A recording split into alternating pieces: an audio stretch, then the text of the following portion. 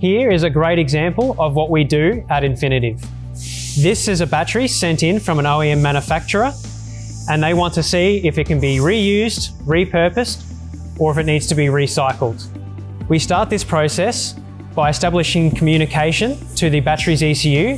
This allows us to read live data of what the battery is doing and we can evaluate the state of health of the battery. From there, we can make a decision as to if this battery should be reused, repurposed or recycled based off that outcome.